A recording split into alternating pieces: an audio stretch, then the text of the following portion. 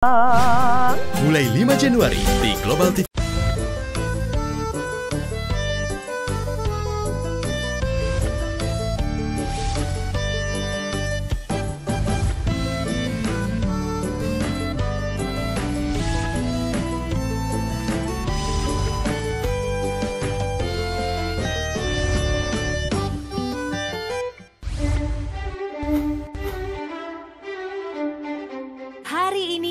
Arjuna tiba di Bern. Kota tersibuk kedua di Swiss ini menyimpan berbagai keindahan tersendiri. Bahkan UNESCO telah menjadikan Bern sebagai kota tua bersejarah sejak tahun 1983. Dan karena keindahan yang tersimpan dari kota ini, Bern masuk dalam 10 kota paling berkualitas di dunia.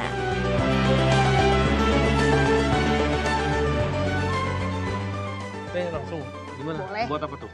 Ini aku lagi bikin tahu isi dan di sini kebetulan restoran Indonesia itu nggak ada. Jadi mau nggak mau kalau kangen sama makanan Indonesia atau apa pun lah, ya Hmm. aku bikin sendiri. Oh, gitu. Belajar lah. Ya coba-coba sih aslinya.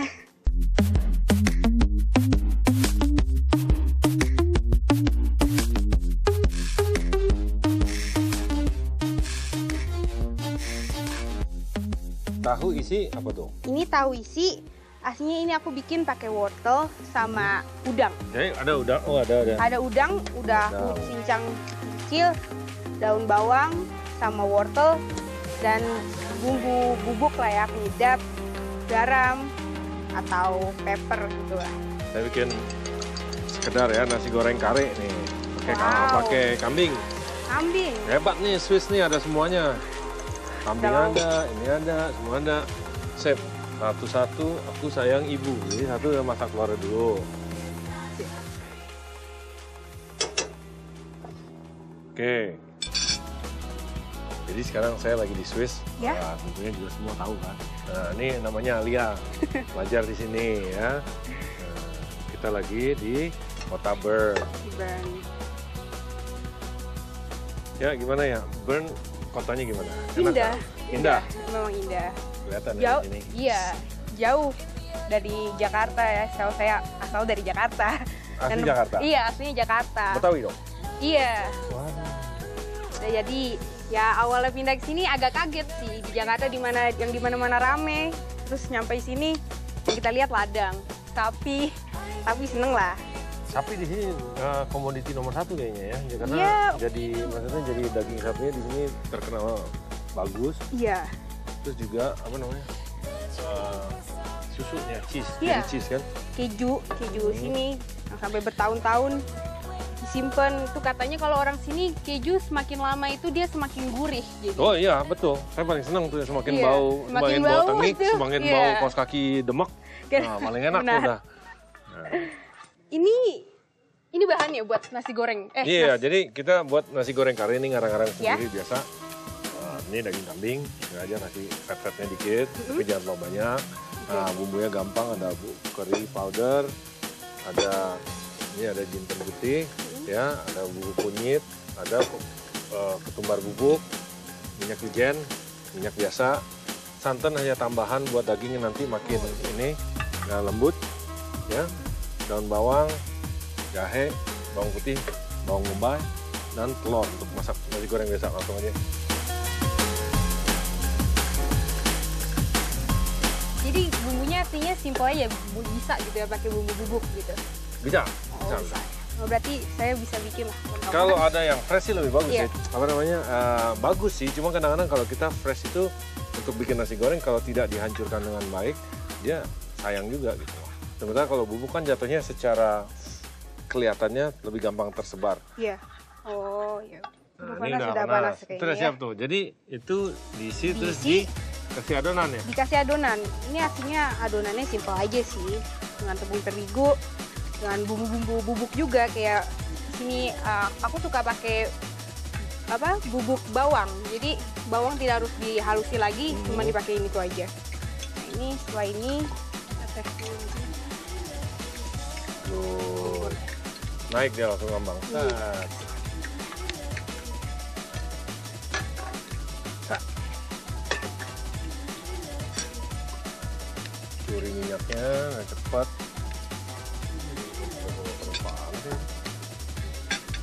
Udah belum?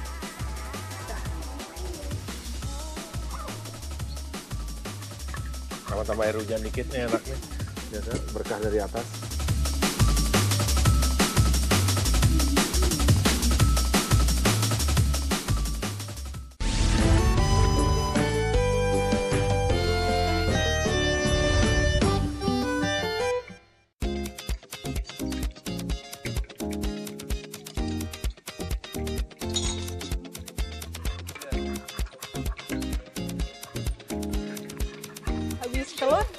Dimasukin dulu. Langsung nasi goreng, langsung nasi. Tapi nah, kita angkat dulu ini. Angkat dulu dulu. Oh, oke. Itu tahunya beres. Taunya aku agak suka lebih crispyan dikit, jadi aku agak lama dikit. Apa-apa. Ini biar minyaknya agak menyerap. Taruh di atas. Hmm. Baik-baik aja tangan. Baik dong. Sip. Eh, Mungkin yang ini lebih panas. Kayaknya sih yang itu lebih bagus. Gue ganti. Apa. Oh. Alright. Belum beres. Masak ala-alanya. Tapi yang Hujan-hujan dikit ya. Iya, nggak apa-apa. Hujan dikit makanan. Set. Cepat colong minyaknya.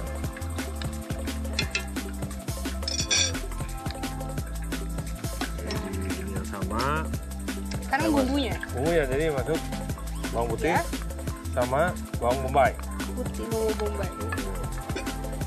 Nah ini kita tumis jangan sampai berubah warna jadi sampai aromanya keluar aja. Oh, Ayo, set. ya. Sama tambah air hujan dikit nih enaknya. Biasa berkah dari atas. Nah ini dia udah layu kan, ya. udah keluar. Kita dikit. Hmm. Oke, daging masukin. Itu memang tidak pakai bawang merah atau Enggak, sengaja nggak pakai. enggak sengaja? Oke. Sengaja nggak usah pakai. Nah, tuh, daging kan tadi udah dibumbuin, ada garam. Ya. Ini masukin cabai merah satu yang besar. Ya. Sama daun bawang, Daun bawang. tapi putihnya potong tipis-tipis sama yang hijaunya kita potong panjang-panjang satu setengah dua sentimeter lah. Dua. Nah.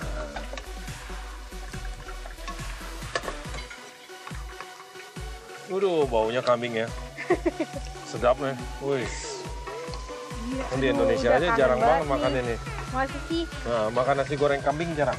Tapi Jarang. ini nasi goreng kari ya. Jadi nasi goreng kambing, Iya, kan saya kasih bumbu-bumbu kari sedikit. Ah. Agak-agak mirip kebuli lah. gitu ya. Gitu, mirip, Mirip. tapi beda-beda tipis. Nah, ini jadi udah kayak gini. Saya sengaja iseng saya tambahin santan Santan. sedikit aja Hmm. supaya dia lembut dagingnya. Oh, untuk melembutkan. Nih. Dan mempercepat proses memasaknya juga karena ada liquid panasnya tuh. Oh, ini saya matikan aja. Untuk nambah rasa asam Ya. dan menghilangkan bau kambing yang terlalu berlebihan kasih lime juice. Itu udah selesai? Sudah, Beres. tinggal ini biar Nah, eh, coba ini diamankan dulu supaya nggak kena air hujan. Oh, Oke, ini kayak panas, panasan yang ini. iya. Nah, nah, ya. Nah, ya, tolong ya, Boleh. kasih dong, Nasi. cemplungin aja. Semuanya atau Jangan, jangan, jangan. sedikit-sedikit? Coba tiga, satu,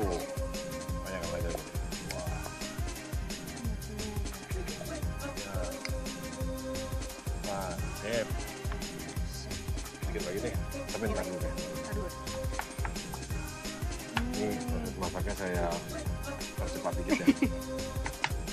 Bisa lebih cepat lebih baik. Soalnya saya kalau masak biasanya emang cari makanan yang tidak terlalu lama proses bikinnya. Kenapa? Karena biasanya dikejar waktu kan. Mau tuh ngapain? Nggak boleh gitu lah. Masak harus sabar, woi. Nggak boleh gitu. Biasa. waktu ma- makan jam siang kan kadang-kadang Oh, kalau jam siang Iya, iya. jam siang. Masak. Terus seringnya sih masaknya malamnya buat dibawa. kangen nggak sama Indonesia? Wah itu jangan ditanya itu Kenapa? Kenapa kangen ditanya? banget lah. Nah, Di ini sini tambahin, beda tambahin banget. minyak wijen ya. Minyak Supaya- wijen. ah, supaya wanginya harum. Iya.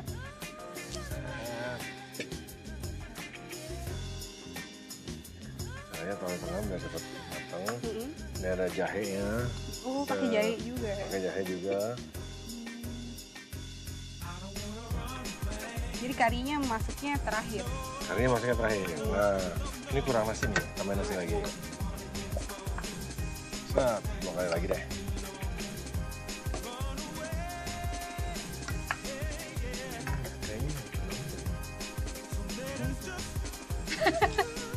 Baik ke mana chef? Hmm. Aduh saya jadi malu. Hmm, Ini enak kok. enak ya? Ya Hmm. nggak bisa menyaingi yang di Indonesia tapi buat obat kangen boleh lah.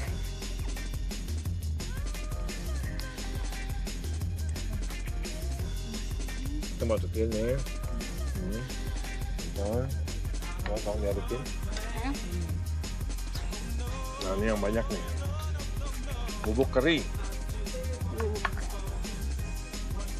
Hmm. Hmm. Ini kunyit, kunyit dikit aja. Ini nih yang beda dengan masakan orang Swiss. Kalau Ini koriander. Bubuk ketumbar. Kurang lebih satu sendok lebih. Nah, nah. Nanti kita coba lagi. Gimana? Hmm, wanginya sih udah kecium banget. Hmm? Harumnya udah. Kamu sekarang masih sekolah kan? Sekarang aku masih sekolah. Apa? Aku sekarang lagi high school jatuhnya, high school? SMA. Iya. Kenapa prosesnya lama di sini? Di sini SMA-nya sendiri aja 4 tahun. Jadi itu pun Eh? udah Tapi kan SMP-nya. 2 tahun seharusnya. Ini saya enggak amanin juga. dulu. Itu dia SMP-nya sama sama di Indonesia 3 tahun juga dan plus SMA-nya 4 tahun di sini. Gitu. Iya. Eh, coba ambil sendok, rasain kurang apa? Coba. Kalau mungkin kurang garam dikit, boleh. Kabarin, ya tahu. Kurang banyak mungkin, Chef. Kayak, buset ya, ini untuk berdua kurang banyak. Oh, berdua. Kacau. Iya.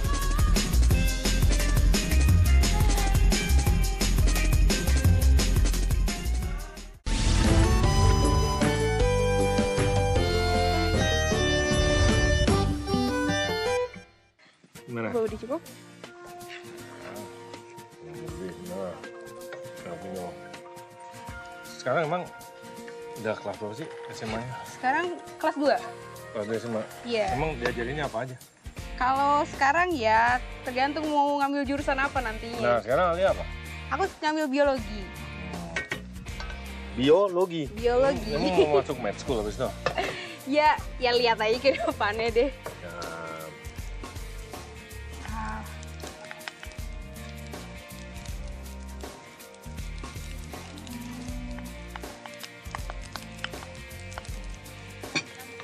Aslinya ini udaranya tuh harusnya Hmm. bagus matahari, tapi terus karena karena nggak suka sama saya, nggak Jadi bukan begini. gitu.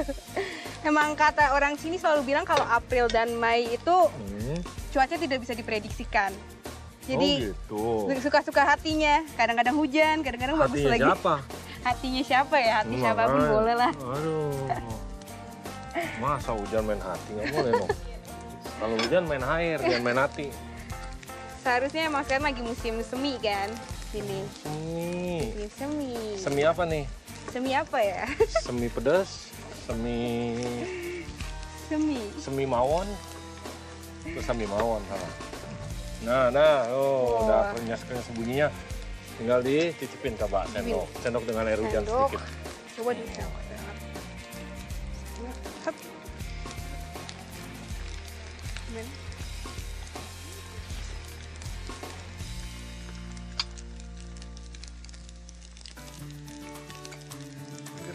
Kayak. Eh, boleh bantu aduk? Boleh. Hmm, nah.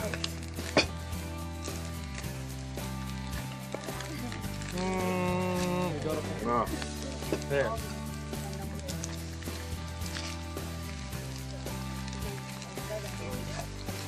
Ya. Hmm. garam.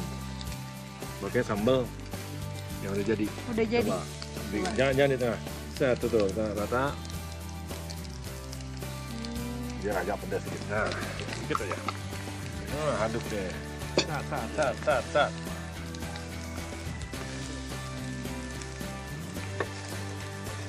Oh, Ternyata dengan bahan-bahan yang ada di sini bisa juga. bisa ya. dong.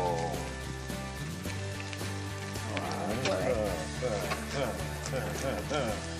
Coba ambil sendok, rasain kurang apa. Coba. Kalau mungkin kurang garam dikit, boleh. Kabarin, saya tahu. Kurang banyak mungkin chef. Kayak, buset ya, ini untuk berdua kurang banyak. Oh berdua. Kacau. Ah, ya kalau berdua. berdua. Coba, coba. Hmm, dah. Coba. Hmm, Kurang apa yo? Awas lidahnya salah.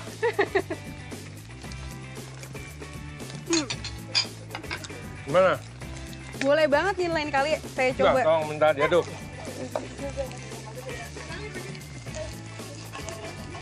Apa daun apa nih? Daun ketumbar. Oh, oh ketumbar. Dah. So, Udah belum? sudah sepertinya nih. Yakin? Yakin deh ya. Yakin dong. Alright, good. So, Kalau gitu, beres. sip. Dah, yuk. Lapar nih. Pra-pranya udah dengan kering-keringnya, rasa-rasanya. Ah, Beres kan? Iya. Coba, sekali lagi. Saya yakin. Pas banget nih. Apa tuh? Pulang sekolah, lapar, Hmm. hujan, makan nasi goreng. Tuh.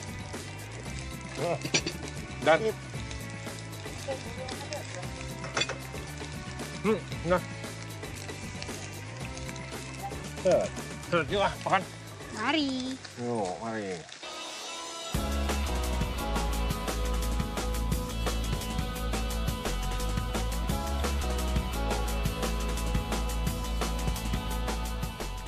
Hmm. Aduh, aku ini mau makasih banget nih. Gak nyangka di, Apa tuh? di Gurten, di Bern, di Swiss bisa makan nasi goreng kambing. Hmm, terus, terus, terus. Ya, udah langsung aja. Coba dulu ya. Sip. Biasanya kan kalau di sini kan aku kelas kemarin SMP ada pelajaran masak juga. Oh ya? Tapi ya itu dia basic masakan orang sini Ini ya. ha- hajar ya, basic Sip. ma- makanan orang sini. Iya. Ya Emang makanan orang sini kenapa?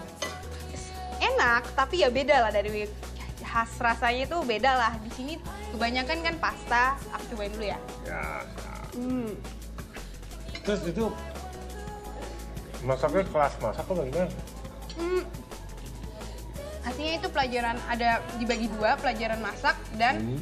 apa yang harus kita tahu lah kalau kita di rumah gitu. Jadi dipelajari semua. apa? Itu emang diharuskan di sini. Jadi itu cuma setahun sih pelajarannya, tapi harus. Namanya apa? Nama nama Namanya nama kelasnya apa? House with Shop kita bilang di sini. House Hmm. with Shop. House rumah. Kayak ini ya, kayak sorry ya, kayak binatang peliharaan ya, poti apa house train, Itu house tier. house train jadi ya, Iya house Hmm. tier. supaya tahu Iya. cara Iya. namanya, bertingkah laku di dalam rumah. Hmm. Hmm, benar. Terus saya punya peliharaan nah, doggy begitu juga saya train. Hmm. no, tapi tentu ini maksudnya kan beda. Iya. Manusia supaya bisa take care dirinya sendiri. Iya, nggak? benar. Nah, sih penting sih. Iya. Soalnya kalau tinggal di negeri orang gitu apalagi sendiri atau jauh dari saudara-saudara kan harus bisa mandiri gitu. Hmm. Pembantu kan mahal sih. Hmm. Nah terus take care diri sendiri lah. Misalnya mau masak kurang lebih tahu lah alat-alatnya yang simple, bahan-bahan makanannya yang gampang didapat Iya. dan simple. Setidaknya untuk diri sendiri lah. Iya. Ya. Aslinya di sini membuat sendiri.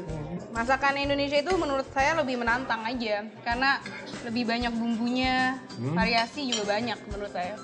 Jadi suka aja. Dan teman-teman saya suka juga masakan Indonesia. Jadi saya senang masaknya.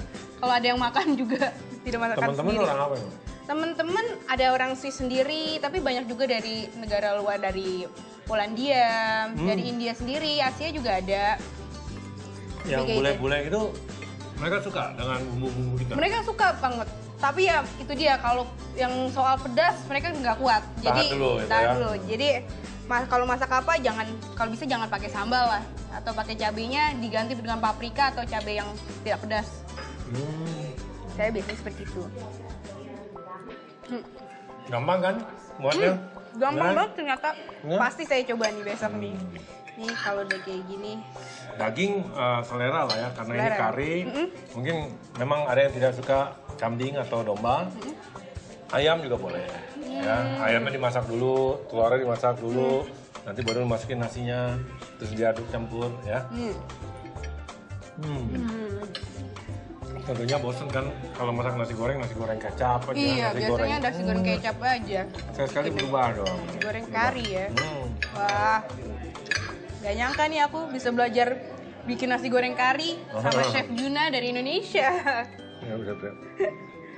Saya juga gak nyangka makan nasi goreng kari di Bern, Swiss.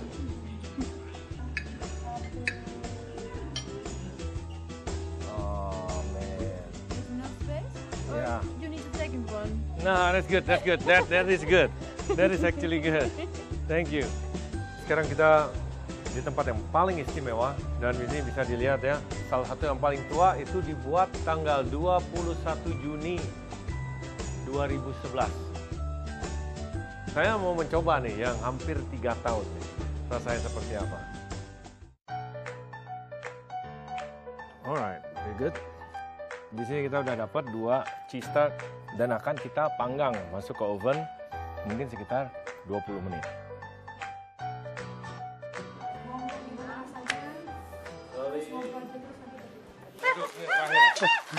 Udah